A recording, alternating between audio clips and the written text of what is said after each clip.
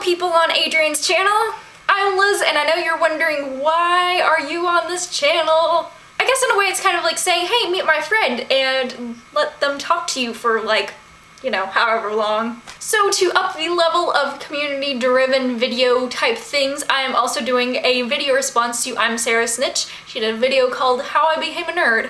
To be honest, I was born into nerddom totally blaming my dad because he is a computer nerd. He taught me how to use MS-DOS and I knew it very well. I knew how to get to Pong by the time I was like six or seven and that was my favorite game for the longest time. He also taught me how to play Atari and um, he, he was always the one to buy us video games and the video game consoles. Like this bad boy. And around the same time, I also daydreamed a lot of Power Rangers, and I would definitely say that I was a Power Ranger nerd. And then I had a babysitter named Misty who told us that we just had to watch Star Wars.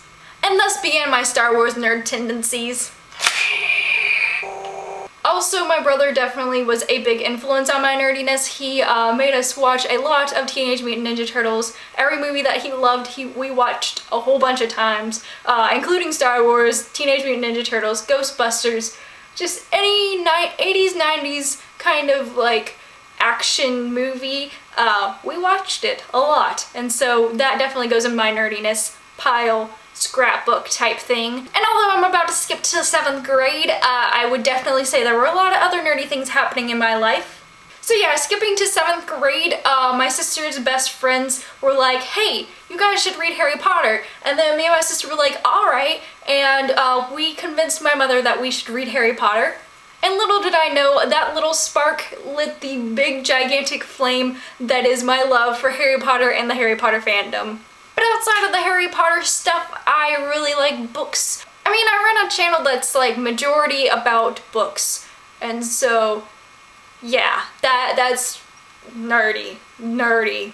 So yeah, that is how I am nerdy. Um, definitely feel free to leave comments below um, telling me how you became a nerd or leave a video response. I know uh, Adrian would probably like to see it as well as I. So that is all about me and my nerdiness. I hope you have a great day and uh, do awesome things.